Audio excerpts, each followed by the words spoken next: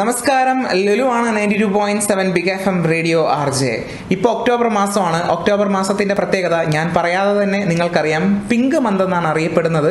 Breast cancer awareness month എന്ന് നമുക്ക് പറയാൻ സാധിക്കും. ബ്രസ്റ്റ് ക്യാൻസറിനെ പറ്റിയിട്ട് കൂടുതൽ സംസാരിക്കാനായിട്ട് എന്നോടൊപ്പം ട്രിവാൻഡ്രം ജി ജി ഹോസ്പിറ്റലിലെ കൺസൾട്ടന്റ് മെഡിക്കൽ ഓൺകോളജിസ്റ്റ് ആയിട്ടുള്ള ഡോക്ടർ ഗായത്രി ഗോപൻ ജോയിൻ ചെയ്യുന്നുണ്ട്. നമുക്ക് മാഡത്തോട് ചോദിച്ചു നോക്കാം എന്താണ് ആസ് എ മെഡിക്കൽ പ്രാക്ടീഷണർ മാഡത്തിന് പറയാനുള്ളതെന്ന്? ഇതിൽ എനിക്ക് പറയാനുള്ള കാര്യം എന്ന് പറഞ്ഞാൽ നമ്മൾ ബ്രസ്റ്റ് ക്യാൻസറിന്റെ രോഗലക്ഷണങ്ങളെ മനസ്സിലാക്കുക. വേദനയില്ലാത്ത മുഴകളായിട്ട് ബ്രസ്റ്റ് ക്യാൻസർ പ്രസന്റ് ചെയ്യാം. അതുപോലെ കക്ഷത്തിലെ മുഴകളായിട്ട് പ്രസന്റ് ചെയ്യാം. നിപ്പിൾ ഡിസ്ചാർജായി പ്രസന്റ് ചെയ്യാം. ഇങ്ങനെ പലതരത്തിൽ ബ്രസ്റ്റ് ക്യാൻസർ പ്രസന്റ് ചെയ്യാനുള്ള സാധ്യതയുണ്ട്. ഇത് നമ്മൾ മനസ്സിലാക്കണം. ഇങ്ങനെ ഉണ്ടെന്നുണ്ടെങ്കിൽ നേരത്തെ തന്നെ ഡോക്ടറിനെ നിർബന്ധമായും കാണിക്കണം.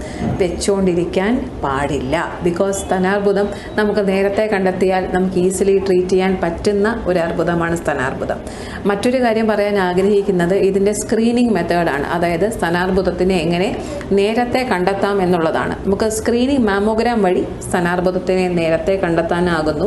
നാൽപ്പത് വയസ്സിന് ശേഷം അല്ലെങ്കിൽ അമ്പത് വയസ്സിന് ശേഷമുള്ള സ്ത്രീകൾ വർഷാവർഷം മാമോഗ്രാം എടുക്കുന്നത് വഴി സ്തനാർബുദത്തിനെ നമുക്ക് നേരത്തെ കണ്ടെത്താനാകുന്നു. മാമോഗ്രാം നമ്മൾ പേടിക്കേണ്ട ഒരു ഇൻവെസ്റ്റിഗേഷൻ അല്ല. അതൊരു എക്സ്റേ ആണ്. ബ്രസ്റ്റിന്റെ എക്സ്റേ ആണ് മാമോഗ്രാം എന്ന് പറയുന്നത്.